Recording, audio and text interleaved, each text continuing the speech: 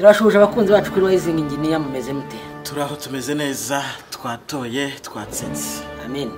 Ah, joshua rero gutora ni ibanga ntavuga uwo yatoye mu gihe amatora atarashoboka yego. Ariko reka dusimbuke uyu munsi dushimire abasabusurayibazi bacu. Tubabwira ngo turabashimiye cyane. Congratulations to rising engineers team. Uyu munsi twuje abasabusurayibazi ibihumbi Bitanu. U rwanda aho rugeze rwigobotora.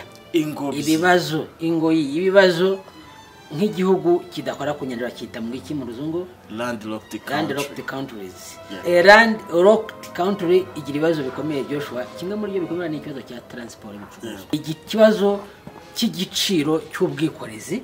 Yes. Icya kabiri ni ikibazo cy'ububiko buba budahagije. Imari ahantu turi kuyikura.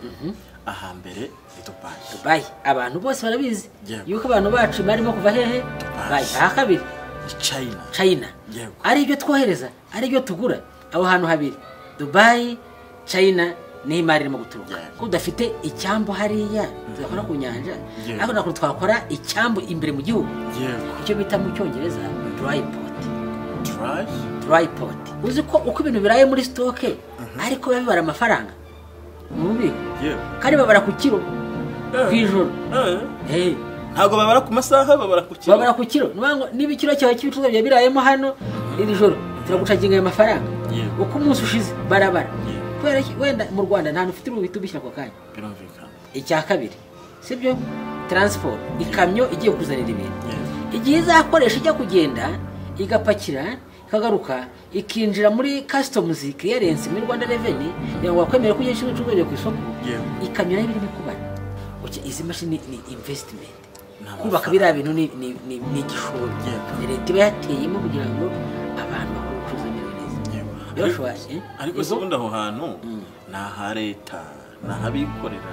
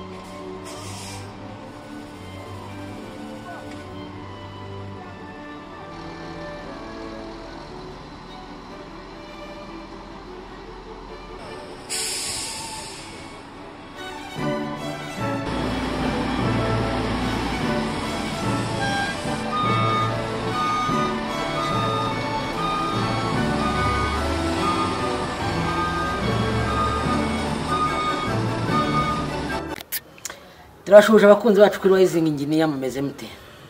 Turi aho tumeze neza twatoye twatsinze. Amen. Ah, joshua rero gutora ni ibanga ntavuga uwo yatoye mu gihe amatora atarashoboka yego. Ariko reka dusimbuke uyu munsi dushimire abasabusurayibazi bacu. Tubabwira ngo turabashimiye cyane. Eh twihe twebwe congratulations. Congratulations to us first. Yes congratulations to rising engineers. Team. Uyu munsi twuje abasabusurayibazi ibihumbi Bitanu. Bi- eh igipfunsi ibihumbi bitanu.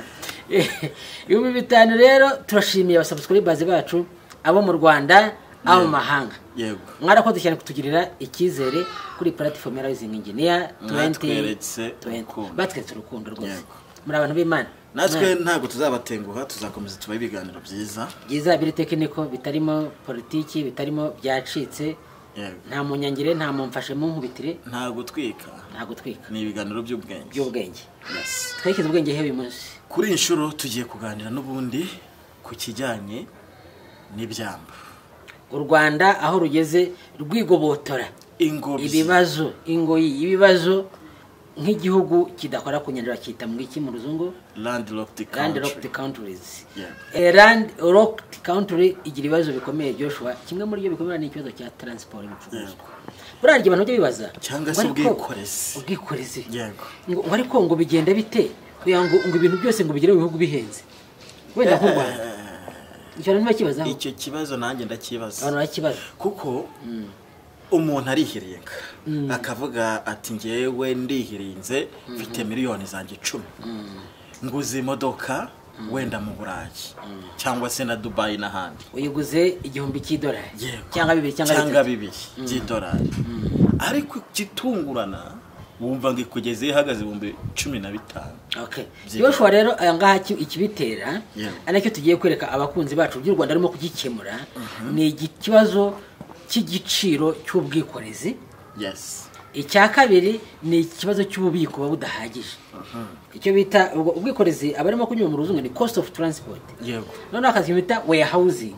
Aho kubibika. Ibi ni byo bigenda bigora ibihugu byinshi bya afurika n'u rwanda rurimo nk'igihugu kidakora kuki ku nyanja.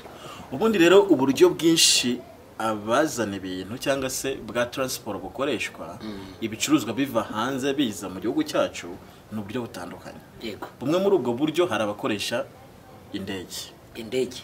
Yego. Hari abakoresha amato. Amato. Hari abakoresha amamodoka. amakamyo. N'ubundi buryo twebwe rero nk'igihugu kidakora ku nyanja hari uburyo butatugeraho neza. Yego. Uburyo bwa mbere butatugeraho neza ni ubw'amato.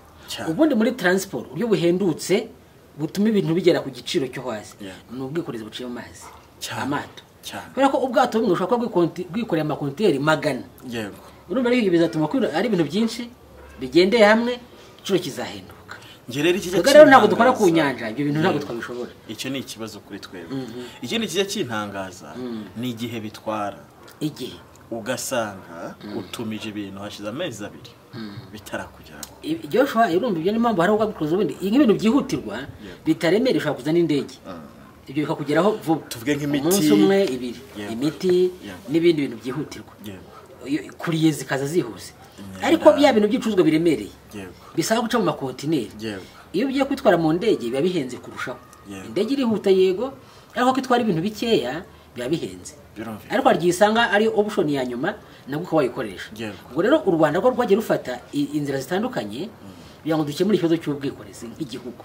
Aha kandi niko tugiye kubereka rero uyu munsi. Si ubwa mbere si ubwa kabiri tuzana tubaganiriza ku iterambere igihugu cyacu cya- cyagezeho twabaganirije ku iterambere rimaze gukorwa mu gusana ibishanga. Ese ibishanga ko twari tuzi ko ari ibyo kwangirika ari ibyo abantu bajyamo bagakoreramo ibintu bitari byiza ariko ubu ngubu ni ahantu ushobora gusohokera. Cyane rwose. Ni ahantu ushobora kunywera agakawa. Eh, cyane utuje umeze neza. Iyo ushaka tugaruka mu bwikorezi rero reka turebe ngo ubundi mu by'ukuri ibicuruzwa byinjira mu rwanda. Bituruka hehe? Ngo byinjire mu gihugu. Muri iyi minsi abantu bajya kuzana imari hehe Joshua? Ubundi imari ahantu turi kuyikura. Ahambere ni dubayi dubayi abantu bose barabizi yuko abantu bacu imari irimo kuva hehe? Dubai. aha kabiri. Ni china. China. Ari ibyo twohereza ari ibyo tugura. Aho hantu habiri. Dubayi china ni ho imari irimo guturuka. Ko tudakora ku nyanja rero imari yacu ica hehe? Ica mu nyanja y'ubuhinde igahingukira hehe? Dar es salaam. Aho ni muri tanzania Cyangwa se Mombasa, muri kenya. Ubwo rero akantu abantu batazi ni uko hejuru ya mirongo icyenda ku ijana. Nka mirongo icyenda na gatanu ku ijana. Byose ibicuruzwa byacu byose bica hehe? Dar es salaam. Iyo bihageze rero bivuye ya kontinerizanye ibintu ivuye mu bushinwa beijing gwanzu n'abantu benshi barimo kujya. Biraje bigeze dar es salaam bivuye mu bwato. Bigeze kwa madamu samia sukuru bivuye mu bwato birasaba yuko babipakira amakamyo akabizana i kigali. Yego. Noneho tuvuge ufite amakamyo amakontineri menshi. Yego. Ufite amakamyo menshi. Biriya bintu bijya bigorana kuko usanga ku byambu haberaho ibibazo. Niyo mu rwanda rwabuze reka dushake igisubizo. Ko udafite icyambu hariya tudakora ku nyanja ariko ntabwo twakora icyambu imbere mu gihugu. Icyo bita mu cyongereza dry port. Dry port. Kera tukiga bajyaga batubwira ko ngo ngo niba ufite ibikoresho elegitoronike cyangwa se ibikoresho runaka you need to keep them in a dry cool place. Dry cool and dry place. Nk'imiti. Uh, ku miti byanditseho dry pot. Rero twebwe ni ikintu gikora nk'icyambu ariko kitari icyambu gikora ku nyanja. Aha i kigali. Ahantu bita i masaka. I masaka ndahazi uzi ahantu hari ikintu bita keropi. No. Kigali logistics platform. Aho ni masaka. Icyo ni icyambu rero leta yashyize hariya gishobora kwakira ibicuruzwa byacu byose. Si iby'u rwanda gusa. N'ubwo abaturanyi bacu bazi. Abo hepfo hano abarundi bashobora bagashyiramo ibicuruzwa byabo abakongomani bashobora kuza bagashyiramo ibicuruzwa byabo abagande n'undi wese washaka wese yaza kigali logistic platform. Kiriya ni icyambu ndakubwiye joshua wageze ugateraho ijisho ni bwa buti kweri wari ugeze kuri kuri iyo nzira u rwanda rwakoze yo kwigobotora icyo kibazo cy'ibicuruzwa biza bihenze cyangwa se bi- bitinda mu nzira. Yego. ariko ntabwo watubwiye ese ubundi ni ibihe bibazo duhurira na byo twajyaga duhurira na byo ku byambu bya mombasa ndetse na salaam? Ntabwo bivuze ko turi buveyo? Yego. Urumva ariko ibyo hano turibwira nk'abatekinisiye. Iyo umuntu uvuga ati bano bagabo ibintu bya politiki y'ubucuruzi oya. Turimo tubigira ibintu hano nk'abatekinisiye. Noneho abantu b'abacuruzi bo barabizi neza. Ufite kontineri yawe ikaba iri dar es salaam. Yego ukaba ukeneye ahantu uri buyishyire. Aricyo bita warehousing. Ndabyumva warehousing? Cyangwa se tubyirekereje byaba nka stock. Ububiko. Ububiko bw'ibintu. Uzi ko uko ibintu biraye muri stoke ariko biba bibara amafaranga? Mu bubiko. Kandi babara ku kiro? Ku ijoro? Eh, Eh, ntabwo babara ku masaha babara ku kiro. Babara ku kiro. Niba ikiro cyawe cy'ibicuruzwa byawe birayemo hano iri joro turagucaginga ayo mafaranga uko umunsi ushize barabara. Kubera ko wenda mu rwanda nta ufite uruhita ubishyira ako kanya? Icya kabiri. Sibyo? Taransiporo ikamyo igiye kuzanira ibintu.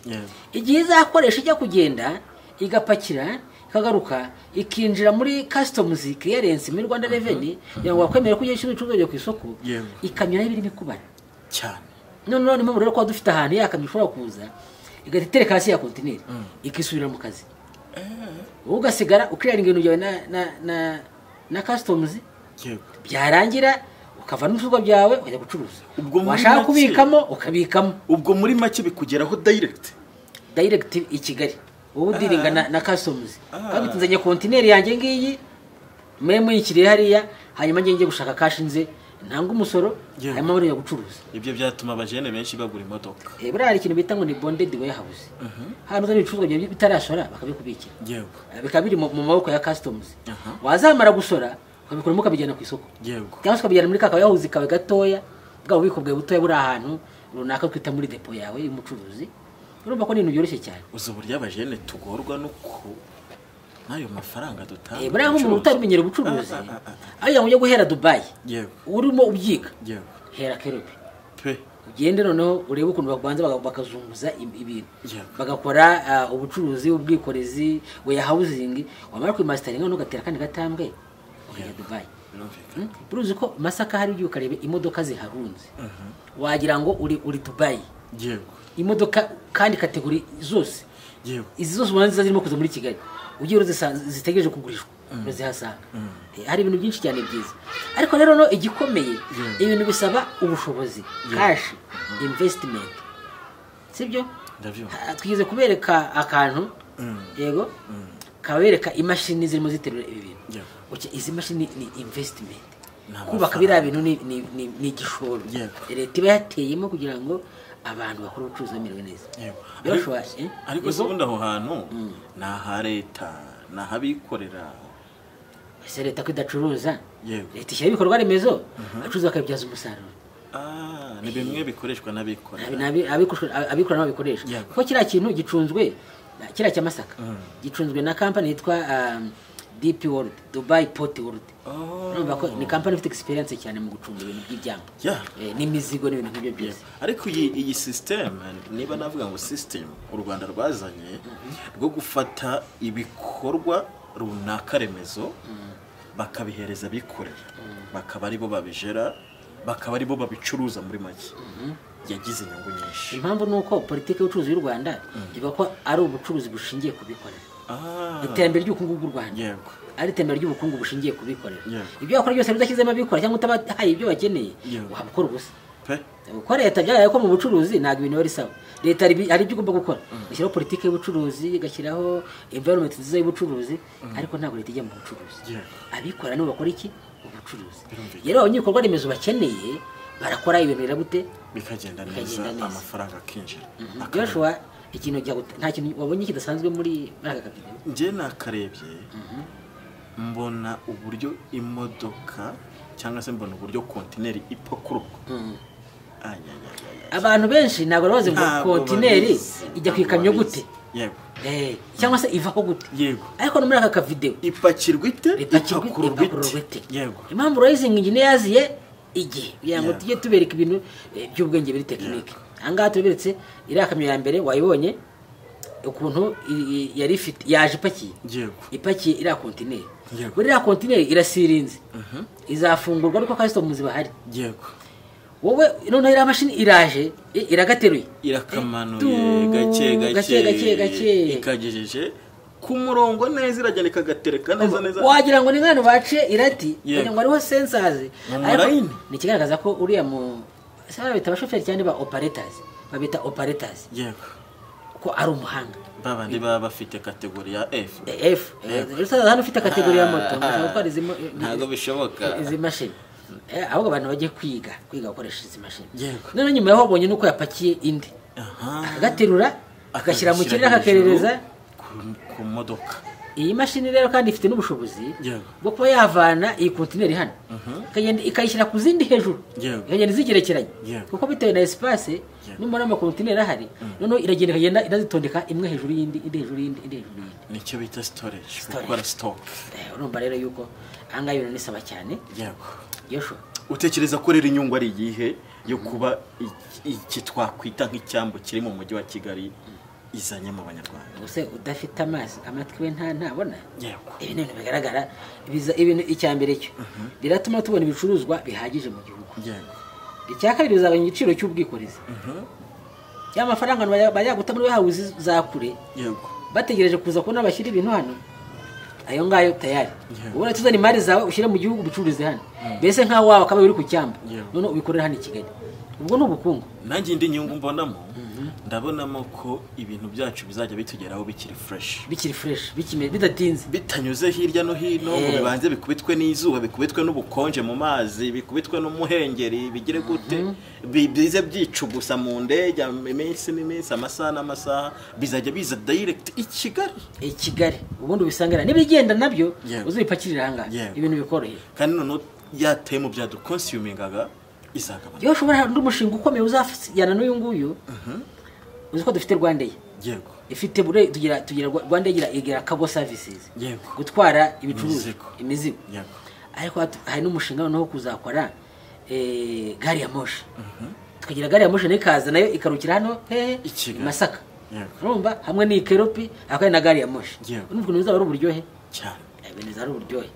U rwanda ruzahinduka santere ya serivisi ubwo rero twebwe dushishikariza abantu abantu bajyaga batumiza ibintu bikatinda kubageraho ariko mukaba mutari mufite amakuru. Makuru n'abatari bazi ngo hari ububiko mu rwanda buhagije wanyuzamo ibintu byawe? N'abatari bazi uko bapakira cyangwa bapakurura kontineri Eh, na byo nawe aka kantu murakabonye. Murabibonye. Eh, kuko hari utubazo twinshi uba wibaza ariko ukabura aho utubariza.